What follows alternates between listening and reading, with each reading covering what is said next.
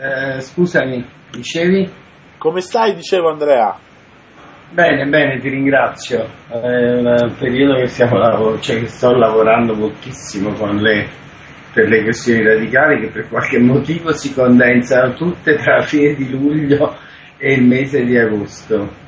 Ecco Andrea, bisogna dire che la, la, l'associazione di cui sei segretario, cioè l'associazione radicale di Napoli Ernesto Rossi, ha raccolto un notevolissimo successo eh, proprio in questi giorni, quindi siamo proprio sulla notizia, con l'approvazione in seno al Consiglio regionale della Campania della delibera che prevede l'anagrafe pubblica degli eletti. Ecco, raccontaci un pochino com'è andata, una battaglia che è durata molto tempo, giusto? Sì, è stata una battaglia, intanto diciamo, mi piace precisare che non si tratta di una delibera ma di una legge regionale. Ah, addirittura, scusa l'ignoranza. Che altrimenti diciamo, non sarebbe nemmeno stato un grande successo, diciamo così, nel senso che in Italia le delibere poi se ne sono riusciti a ottenere diciamo, un certo numero per l'anagrafe pubblica degli eletti e dei nominati, che ehm, ha questo nome un po' diciamo ostico, soprattutto la giunta dei nominati, però va fatta perché poi in fondo è l'aspetto più interessante della legge stessa. Quindi peraltro questa legge dovrà, malgrado le difficoltà che avremo, essere necessariamente diciamo, resa esecutiva, non potrà avere quell'iter uh, complicato, inattuato, come per esempio nel caso delle delibere nei consigli comunali. Uh, Vai Andrea. Sì, sì, ci siamo, vai, vai. E, ehm, niente, quindi diciamo che l'importanza fondamentale è questa, il contenuto dell'anagrafe degli eletti per i radicali ovviamente è noto. Qui eh, in campagna, io devo dire che eh, la legge, vabbè, intanto ha avuto un iter lungo perché è stata, diciamo, ha fatto tutto un iter già nella scorsa legislazione, in realtà passò anche tutte le commissioni all'unanimità c'è nessuno che pubblicamente si è esposto in modo esplicitamente contrario, quindi passò tutte diciamo, le tappe intermedie che le leggi regionali devono passare presso le commissioni specifiche e anche dire, il finanziamento che poi una legge deve avere per essere attuata, no? quindi nella commissione bilancio. Di fatto però fu poi trascinata al voto finale fino alla chiusura della legislazione quando per obbligo di legge non si possono approvare regionali. Quindi l'abbiamo reincardinata subito nella nuova legislazione regionale che adesso è di destra con il Presidente Caldoro. E, mm, ed ha avuto anche qui un iter diciamo, molto facile perché in fondo eh, la destra una volta al potere non poteva come dire, eh, esplicitamente rimangiarsi no, il voto dato quando era opposizione. E nel contempo probabilmente essendo opposizione la sinistra è stata più sollecita nel, nell'accompagnare diciamo, il voto di questa norma, cosa che non aveva fatto quando era lei a governare la regione Campania, diciamo così. No?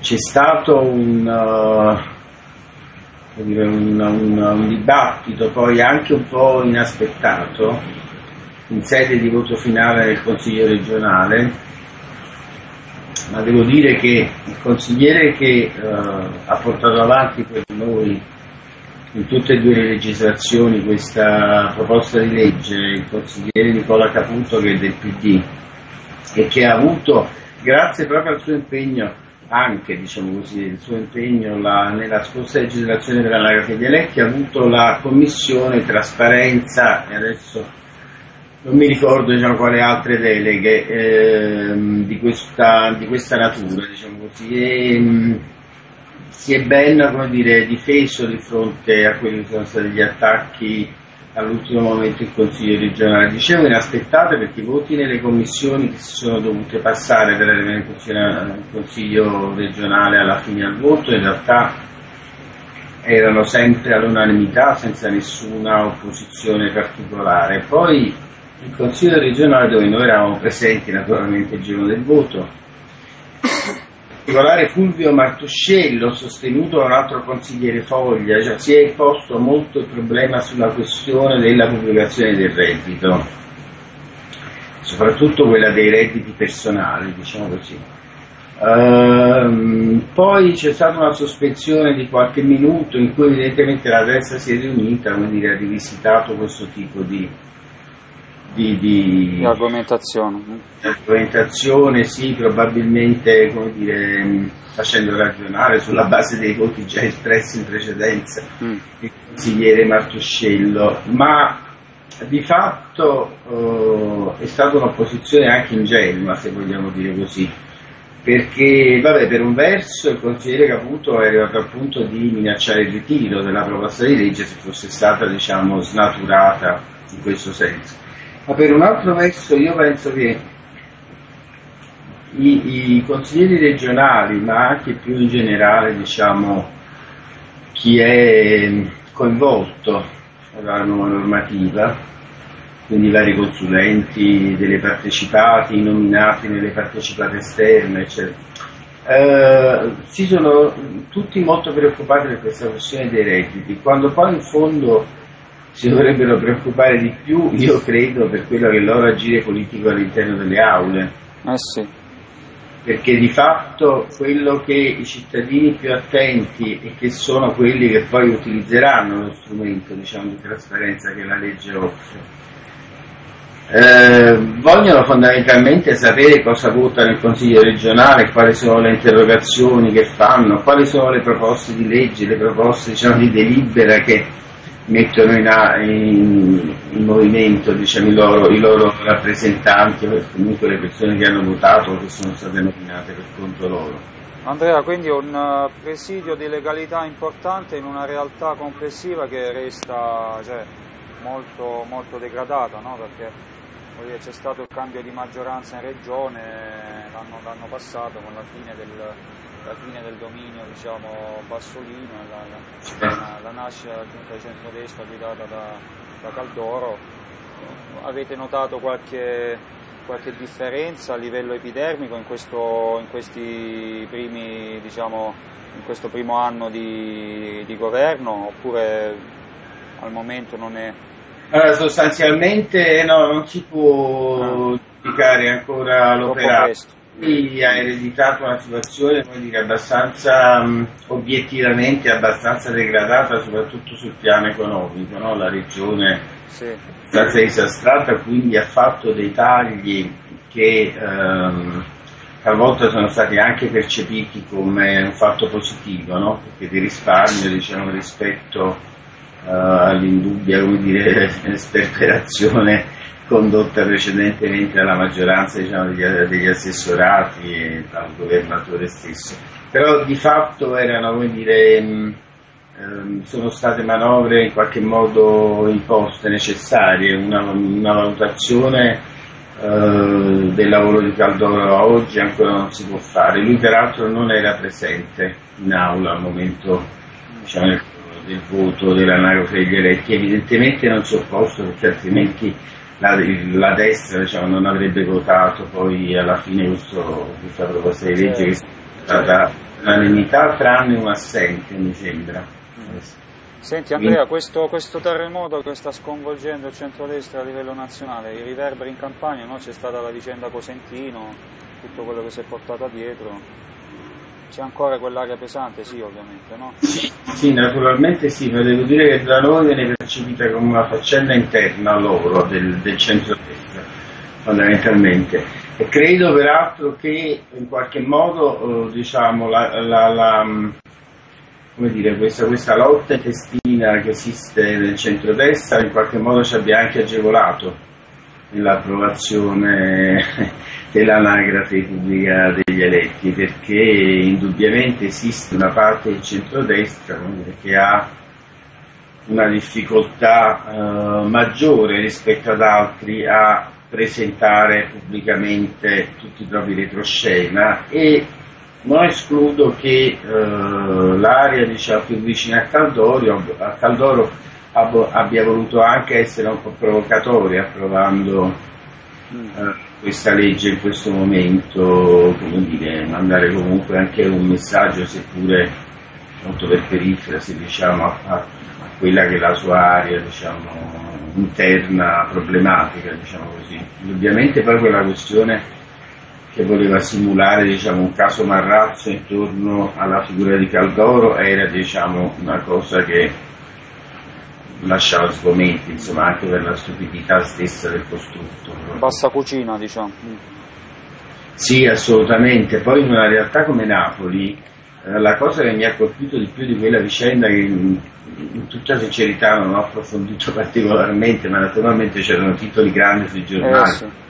E quindi non si può fare a meno di conoscerla, era il fatto che ehm, fosse più grave che chi eh, immagina di poter colpire a Napoli una qualsiasi figura politica in questo modo, eh, vuol dire che proprio non ha il polso di quella che è la sua città, di come dire, di, di qual è eh, l'atteggiamento che hanno i propri elettori. E questa cosa è molto grave perché naturalmente non riguarda esclusivamente questo episodio così un po' ridicolo, ma riguarda anche tutti i provvedimenti che vengono presi nelle questioni più serie eh, che riguardano la città di Napoli e anche ovviamente la regione Campania. Voglio dire che ecco, questo criterio di ignoranza completa diciamo, del, del, del, tessuto antropologico e sociologico della città che vengono fatti per esempio i piani regolatori.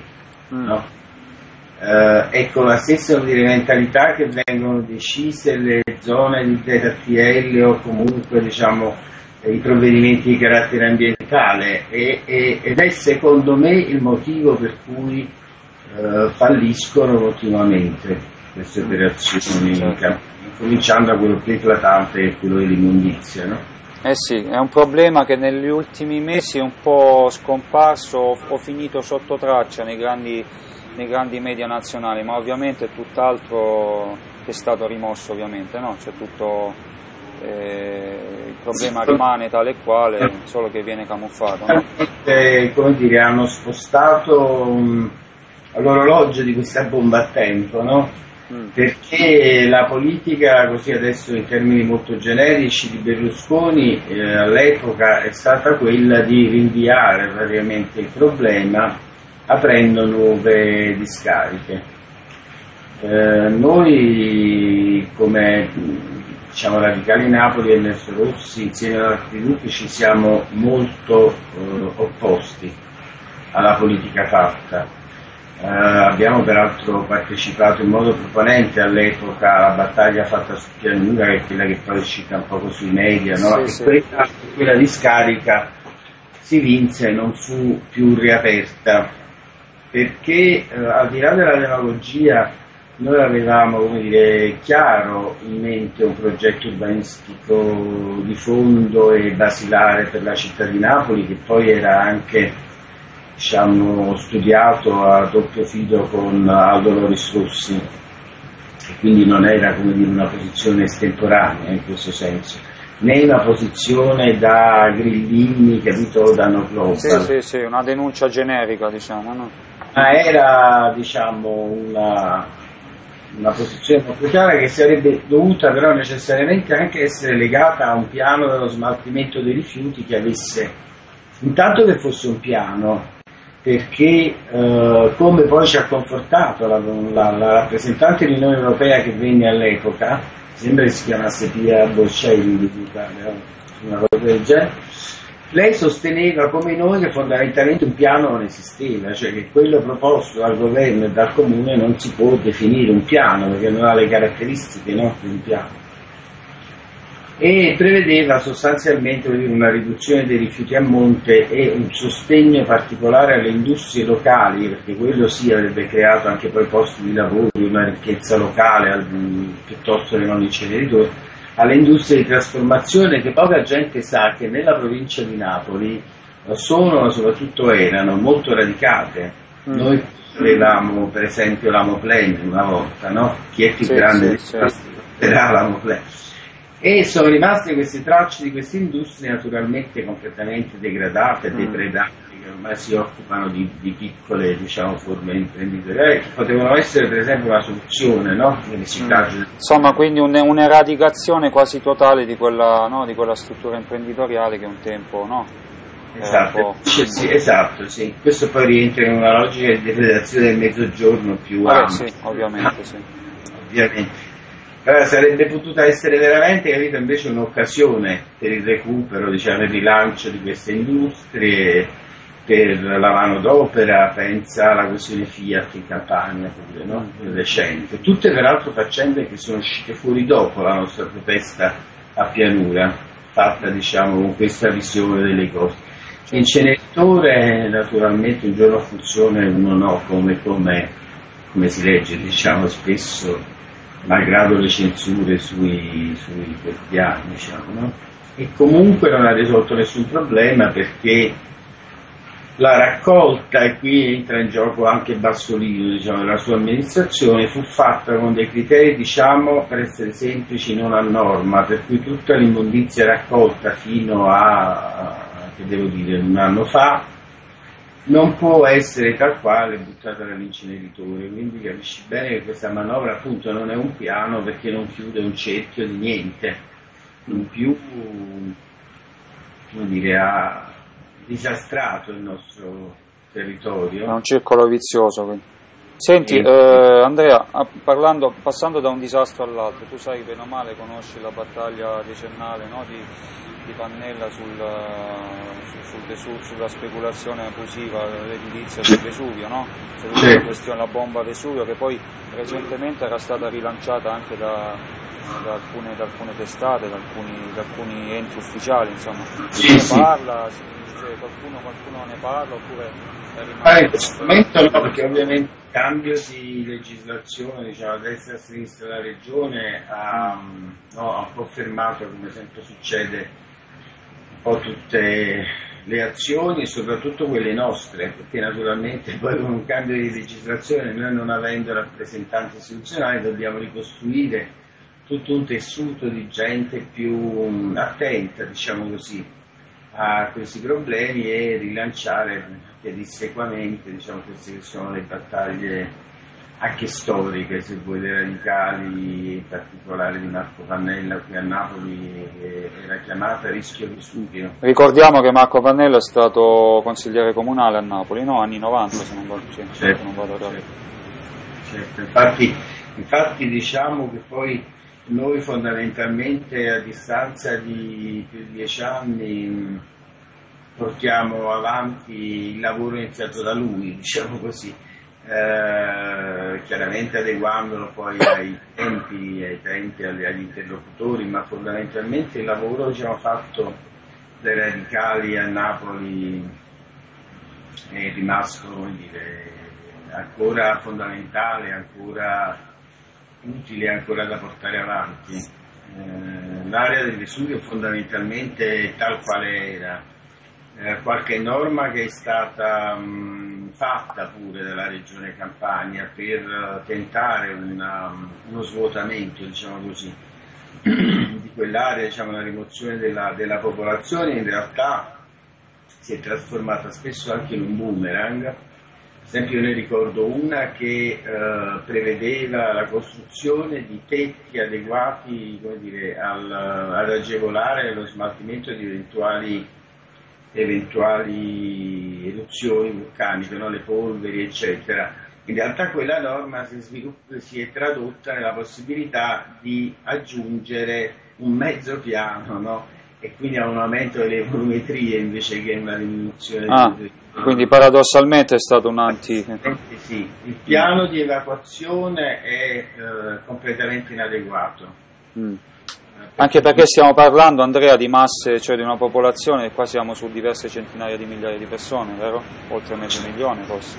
Eh, allora, il Vesuvio credo che sia ancora oggi la percentuale di, di abitanti dire, per chilometro quadrato più alta d'Europa, la densità mm. diciamo, abitativa sì. più alta d'Europa credo che sia ancora attualmente così. I piani sono quindi ovviamente diciamo, completamente inadeguati e, il fatto è riuscito in mezzo, diciamo così, credo uno o due anni fa diciamo, si è riproposta la questione come eclatante perché c'è stato un importante servizio del National Geographic. Mm. Questo fu stato il motivo. Allora diciamo, quando poi si riesce a portare le questioni locali ad un livello diciamo, nazionale, ma soprattutto internazionale, quantomeno europeo, allora qualcosa incomincia a muoversi. Però la questione dell'area Vesuvio è veramente diciamo, complessa, presume, mh, è un'operazione colossale diciamo così, perché presume anche poi la sistemazione no, de, delle persone che eh sì, certo. devono essere preventivamente diciamo così, evacuate, non al momento che erutta, erutterà. Anche perché poi è, un tipo di, è, un tipo, è una tipologia di vulcano che cioè, è, è, come dire, piuttosto ha una tipologia istantanea, no? esplosiva piuttosto che... Eh. Quindi alla fine poi l'intervento deve essere rapidissimo, sollecito e Certo. Quindi è molto difficile da mettere in atto.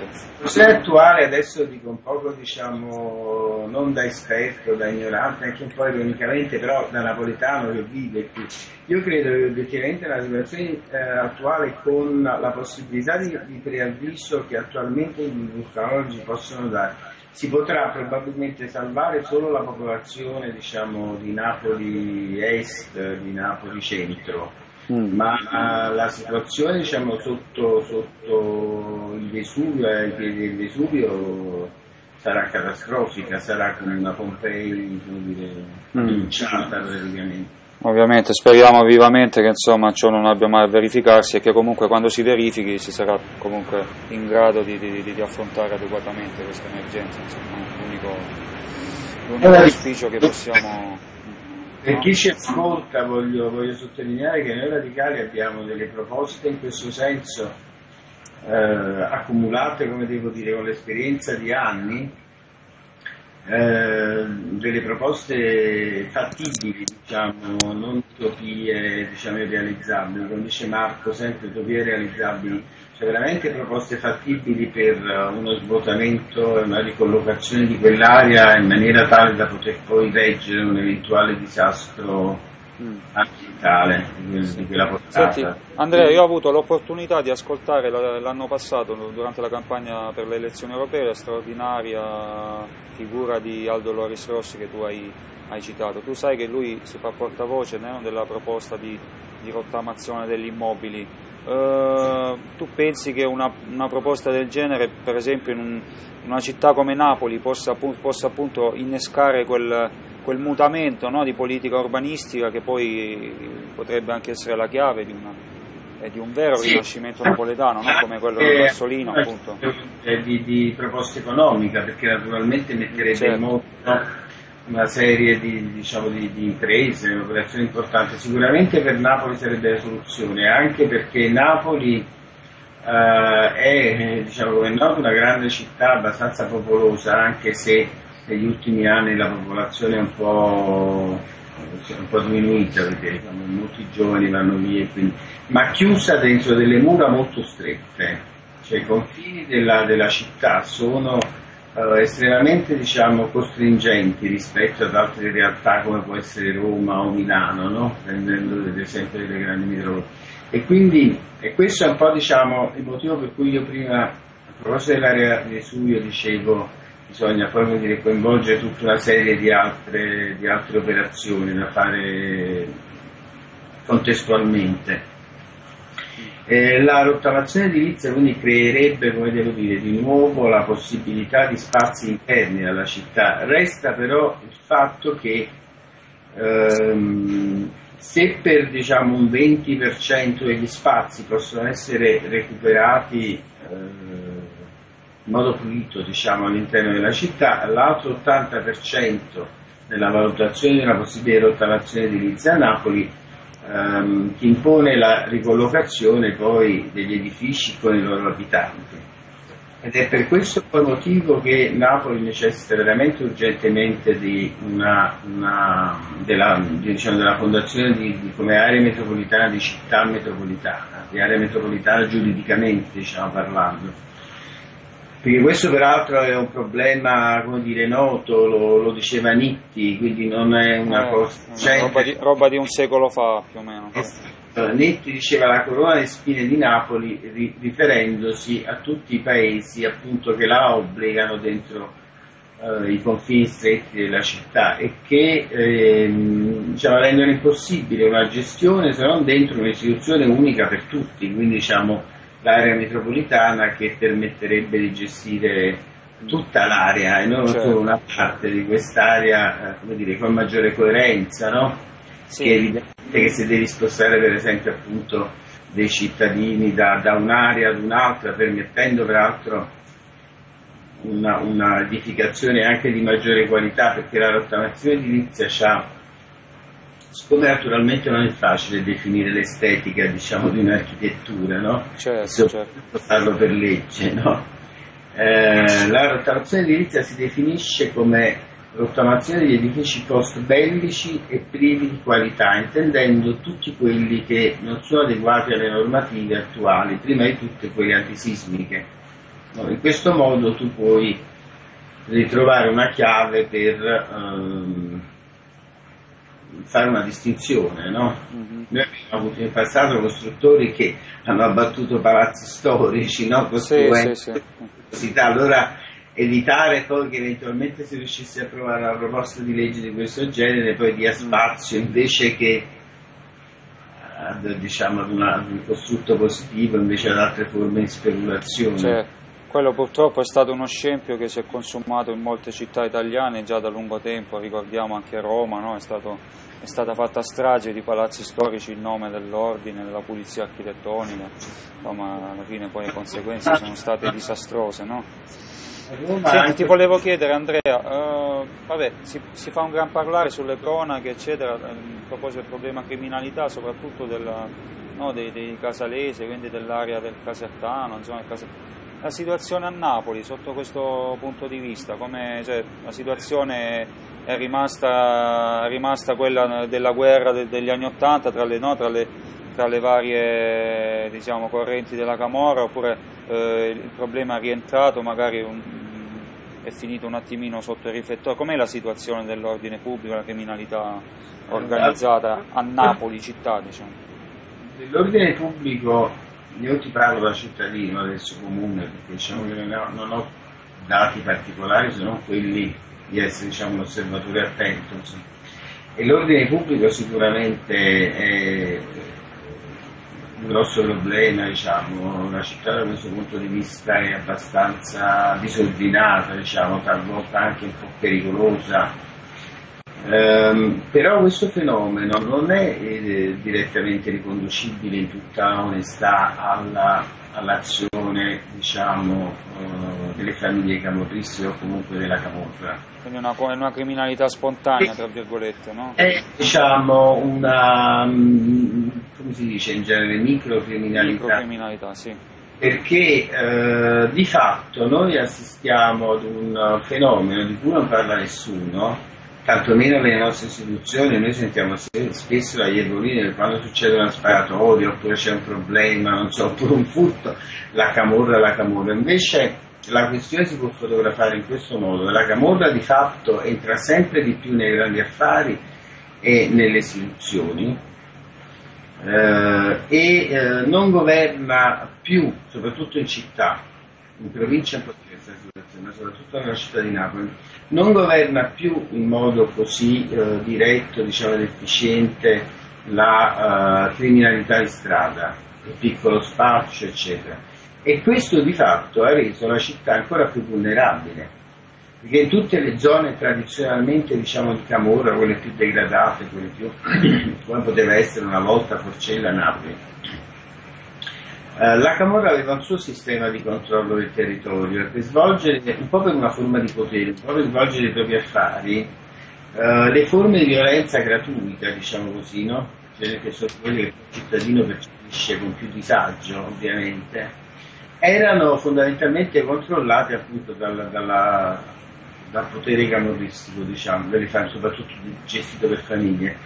Una volta questo fenomeno diciamo, è andato disgregandosi anche lui nella disgregazione generale diciamo, della, dell'economia della città, le istituzioni non sono state in grado di prenderne il posto questa è la verità vera. Mm. Quando Debolino addita, non so che c'è stato un accoltellamento per un motorino, non so in quale posto della città e grida la camurra, lo fa per distrarre l'attenzione dalle proprie incapacità come istituzione quindi, quindi è, una, è, una, zona franca abbandonata sia dai clan che si occupano di altro che dallo Stato che è incapace diciamo di... No? Eh sì, adesso poi si è aggiunta questa, mm, questa nuova diciamo, forma di controllo del territorio imposta eh, dal governo Berlusconi eh, che è iniziata come fenomeno straordinario durante proprio le manifestazioni dell'immondizia, cioè quella di far accompagnare eh, le forze di polizia dai militari Ehm, ma naturalmente non ha nessuna vera funzione sul territorio perché i militari sam, accompagnano diciamo, uh, quello stesso numero di forze di polizia che c'era prima, con le stesse dire, strumentazioni, con gli stessi mezzi e purtroppo, malgrado devo dire, anche con la stessa preparazione. Mm ma di fatto no, non è che sono una forza aggiunta in senso propositivo, no? sono delle figure che stanno lì e che finiscono, questo sempre stiamo parlando della città di Napoli esclusivamente, no? per essere non una garanzia diciamo come dire anticriminalità sul territorio, ma una garanzia per il cittadino quando viene fermato dalla polizia, perché noi poi abbiamo obiettivamente un fenomeno di più che di abusi direi di comportamenti estremamente scorretti da parte delle forze dell'ordine, cioè c'è proprio una consuetudine no? uh, a, a, comportamenti diciamo, che possono più o meno rientrare nelle forme di abuso di potere, rispetto alle quali il militare che generalmente accompagna appunto il poliziotto finisce per essere solamente una garanzia appunto per il cittadino perché il poliziotto eviterà dei comportamenti che altrimenti avrebbe sicuramente ma al di là di questa funzione dire, eh, sociologica non, non, non no. c'è niente, non è cambiato niente, diciamo, il governo fondamentalmente non, Senti Andrea, mentre ci avviamo alla, alla chiusura nostra, del nostro collegamento, io ti porgo i, diciamo, i, complimenti di Rodolfo Viviani che si complimentava per questa ultima parte del tuo discorso e chiudiamo con una domanda di americano che mh, mi sembra che la risposta sia no. Comunque lui mi chiede, la legge regionale, cioè quella che istituiva l'anagrafe degli eletti, non ha valenza per tutti gli organismi subordinati? Quindi mi sa, mi sa di no, insomma, solo per il Consiglio regionale, vero?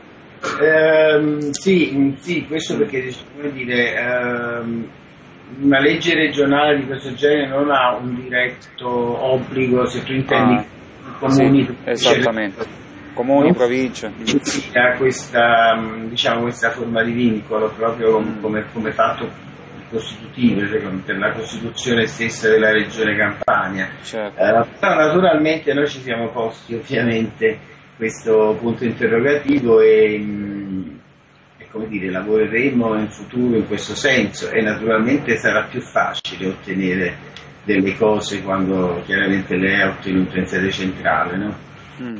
Perfetto Andrea, noi siamo arrivati alla fine della nostra conversazione, abbiamo un altro intervento che preme, quindi noi non possiamo che rimandarci ad un prossimo, spero, eh, sollecito collegamento per aggiornarci sulla situazione napoletana che a quello che, che ho dato da vedere è molto, è molto interessante, sempre piena di sviluppi, di sviluppi importanti. Insomma. Quindi io ti, ti passo, la parola, passo, la parola, a Roberto. Per Ciao Andrea, scusa se mi sono assentato, ma ero molto stanco, quindi mi sono allontanato, sono, sono andato a... La mia incapacità tecnica che all'inizio no. ci ho messo un po' a capire il funzionamento, però invece volevo farvi i complimenti per questa diciamo, TV radicale che avete organizzato, messo in piedi. Ho visto il sito, ho visto insomma che è fatta particolarmente bene, quindi spero che eh, continuate questo lavoro anche per noi.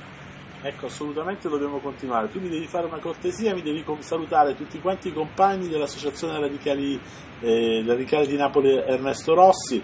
Li ho incontrati molti insieme a te al Pride Napoli, eh, quindi fammi il favore di salutarli e sicuramente presto ripeteremo questo appuntamento. Ti faccio un'ultima domanda, visto che ormai abbiamo il tempo. Eh, ti volevo chiedere, eh, avete previsto per il giorno di Ferragosto la visita in qualche carcere? Guarda, allora ti dico subito, mi, mi cogli proprio anzi con piacere, ti dico che domani noi iniziamo perché un po' chiaramente ci regoliamo sulle disponibilità di chi ci fa entrare, quindi dei consiglieri regionali, dei parlamentari.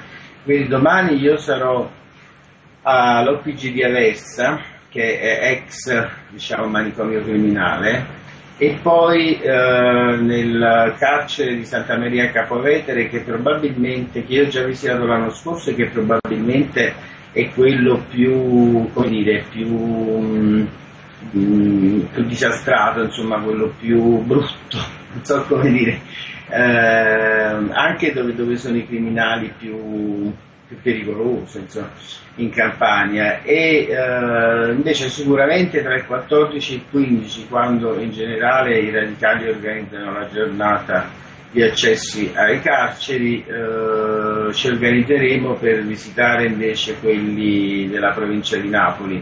Mi piacerebbe tornare in quello femminile che è una realtà invece tra le tante diciamo veramente brutte è una realtà invece un po' più organizzata, una direttrice molto capace, insomma, che quindi speriamo che, come dire, di trovare la situazione migliorata e poi non so, vediamo un po' se entreremo in quello di Colpireale o quello di Secondigliano, vediamo un po' con le disponibilità che riusciamo ad avere da chi può farci aprire le porte del carcere.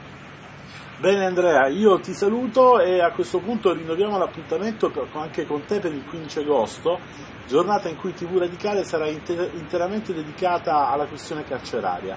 Quindi magari se riusciamo a fare un collegamento anche allora, eh, insomma, eh, ne saremo, saremo contenti e felici. Ti salutiamo Andrea. Ciao Andrea, a presto a risentirci. Ciao. Salutiamo Andrea Fuggere, segretario dell'Associazione Radicale di Napoli, eh, di, di Napoli Ernesto Rossi e proviamo a vedere se riusciamo a collegarci nuovamente con